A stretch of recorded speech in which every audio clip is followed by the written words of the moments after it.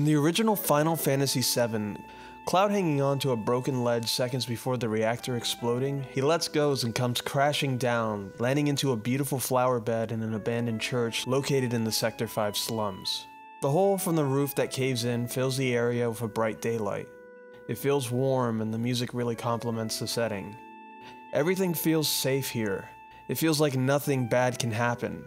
The flowers are proof of that. They're resilient, growing in a place that supposedly can no longer hold life. They also take the fall of a grown ass man carrying a slab of iron on his back. He is awoken by Aerith, someone who he barely even knows. Cloud begins to converse with her, not knowing just how much this moment would be the first giant step in drastically changing how Cloud perceives everything around him. The church is probably one of the most iconic things in Final Fantasy VII. Even if you haven't played it, you've seen this place before. It's as beautiful as it is subtle. A place of worship abandoned by its people, with only a stranger tending to the only life that's still there the beautiful flowers.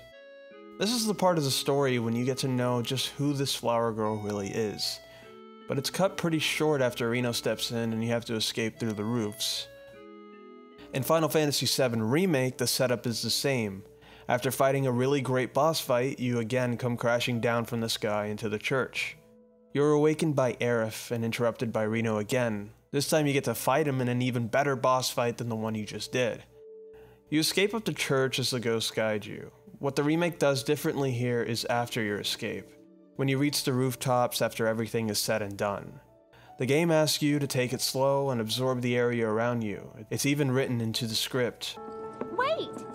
Give me a moment.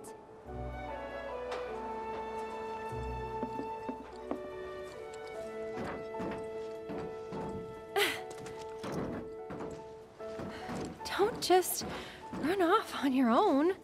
The atmosphere is amplified as the rooftops are rusted, they're abandoned, lifeless. It really shows you what Sector 5 is going through as you continue to explore. What makes this part of the game shine so much is Aerith. Really? In the small little segment walking back to her home, there's just so much personality in it, and you really get a feeling of being introduced to Aerith and who she is. Her upfront personality challenges Cloud as she makes conversation with him. So what's he to you? Looked like you knew each other. Maybe he thought I could be the greatest soldier yet. Forget it. Hmm? You mad? You worry too much. I'm not some princess who needs to be coddled. Shit. She jokes and makes jabs towards his cold front attitude he's so pressed to holding on to. It even gets Cloud comfortable enough to joke back. Don't just run off on your own. Those are the words of a soldier candidate? So petty. Aerith is the perfect example of just how human the writing is in FF7 Remake. Something Square Enix has been kind of neglecting in other stories they tend to tell. Don't cry, Yazu. Here we have a character that feels so believable and real. Aerith is snarky, she's flirty, and genuinely funny while also keeping a sense of mystery as Cloud begins to question just what the Turks want with someone who supposedly just sells flowers. As the Turks are not just regular old goons, but people specifically tasked to get their hands dirty doing work for Shinra. I was really blown away the first time I played through this, as I wasn't expecting to get so attached to this chapter.